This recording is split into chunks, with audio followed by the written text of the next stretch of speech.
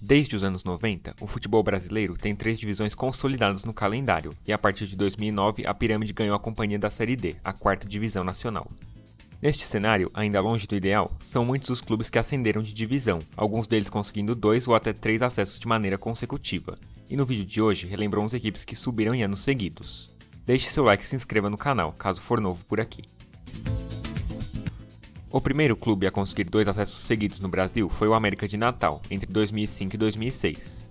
Em 2005, o Mecão estava na Série C e seria eliminado logo na primeira fase, mas com a punição ao Nacional de Patos acabou avançando. Nas fases seguintes, foram três mata-matas, com o América passando por Ferroviário do Ceará, Coruripe de Alagoas e 13 da Paraíba. O último desafio foi um quadrangular, ficando à frente de Patinga e Novo Hamburgo e conquistando o acesso ao lado do Remo. Na Série B de 2006, o América travou uma intensa disputa com o Paulista de Jundiaí, conquistando o acesso apenas na última rodada, em empate contra o campeão Atlético Mineiro. Entre 2006 e 2007, dois clubes subiram por dois anos seguidos. Um deles foi o Meteórico Ipatinga. Na Série C 2006, os mineiros estrearam em um grupo com o americano Juventus da Moca e Estrela do Norte, avançando em segundo. Nas duas fases seguintes, o Ipatinga se classificou na liderança, enfrentando adversários como América Mineiro, Anapolina e Atlético Goianiense. No octogonal decisivo, o Ipatinga fechou em terceiro e conquistou o acesso. Na Série B de 2007, o Ipatinga brigou pelo título até a rodada final, mas teve de se contentar com o vice e o acesso, conquistado em vitória sobre o Marília. Junto com o Ipatinga, o Vitória também conquistou dois acessos seguidos naquele período. Em sua primeira Série C, o Leão da Barra estreou contra Coruripe, Pirambu e Pitanga, avançando como líder. Nas duas fases a seguir, todas com clubes do Nordeste, o Vitória também saiu como líder. Na fase decisiva, a equipe brigou pelo título, terminando vice-campeã. Na Série B 2007, o Vitória teve emoção para retornar à elite, terminando em quarto e subindo após triunfo sobre o CRB. Logo no ano seguinte, mais dois clubes subiram de maneira consecutiva, um deles o Atlético Goianiense. Vindo em reconstrução, o Dragão estreou liderando um grupo regional, com misto Operário e Tumbiara. Na segunda fase, em outro grupo regional, nova liderança, e na terceira, liderou novamente, embora tenha tido muito mais dificuldade. No octogonal final, o Atlético despontou e levou o título, com 8 pontos de vantagem. Na Série B 2009, marcada pela ilustre presença do Vasco, o Dragão encerrou um longo hiato e voltou à elite, após vitória sobre o Juventude por 3 a 1. Junto com o Atlético, o Guarani embalou dois acessos para disputar a elite pela última vez. Na Série C de 2008, o Bugre demorou para embalar, avançando em segundo nas duas fases iniciais, atrás do Ituano na primeira e do Ituiutaba na segunda. Na terceira, o Guarani conseguiu liderar, avançando ao lado do Brasil de Pelotas, e no octogonal final terminou como vice-líder, levando o acesso. Na segunda ano de 2009, o Bugre se recuperou do rebaixamento no Paulistão e fez grande campanha, terminando vice-campeão. Em 2009, o América Mineiro começou a sair dos dias sombrios, voltando à elite mineira e saltando da terceira para a primeira divisão nacional. Na primeira edição da Série C com 20 clubes, o Coelho saiu líder de seu grupo, após 5 vitórias em 8 jogos, e avançando ao lado do Guaratinguetá. Nas quartas, que valeram acesso, o América despachou com autoridade o Brasil de Pelotas. Já com acesso definido, ainda passou por Guaratinguetá nos pênaltis e venceu o Asa de Arapiraca para levar o título. Na segunda ano de 2010, o América fez grande campanha, levando a quarta e última vaga na elite, após disputa contra a Portuguesa e empate na última rodada.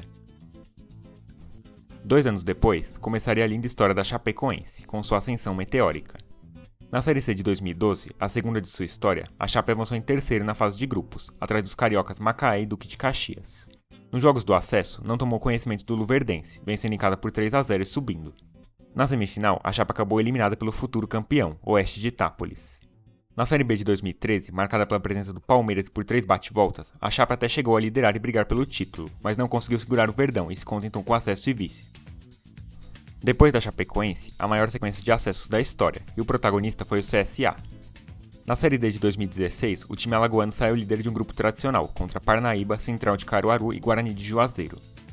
No mata-mata, foram três confrontos até o acesso. No primeiro, reencontrou o Parnaíba, vencendo os dois jogos e avançando.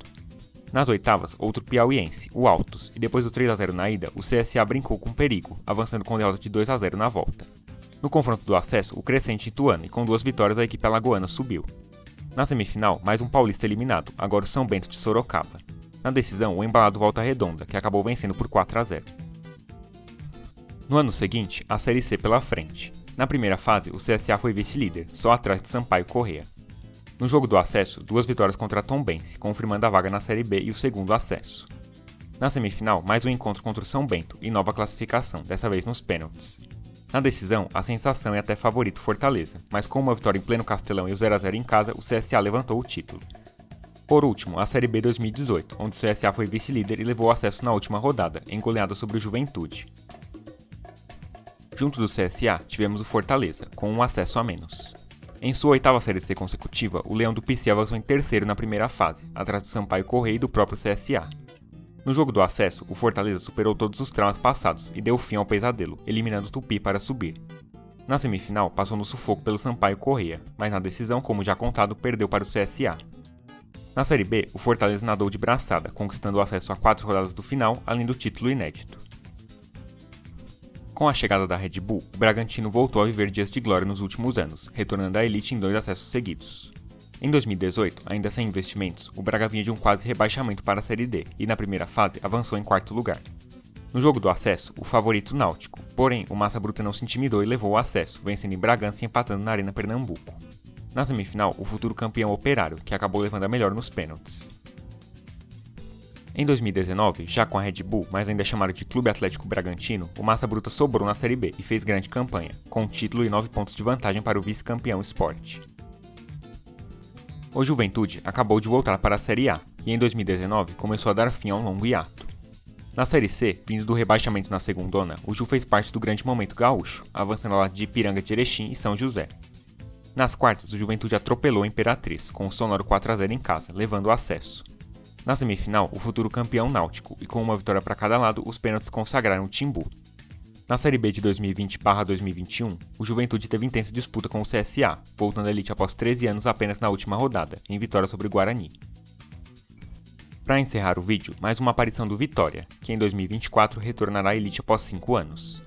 Na Série C de 2022, o Leão da Barra chegou a flertar com a queda para a Série D, mas carregado pela torcida, reagiu e levou a última vaga para a segunda fase. Na fase decisiva, o Vitória por pouco não perdeu acesso, contando com o tropeço do Figueirense na última rodada. Na Série B deste ano, que acabou no último sábado, o Vitória fez campanha espetacular, estando no G4 o tempo todo e conquistando seu primeiro título nacional. O vídeo de hoje fica por aqui. Peço que deixe seu like e se inscreva no canal. Sugestões com educação também são bem-vindas.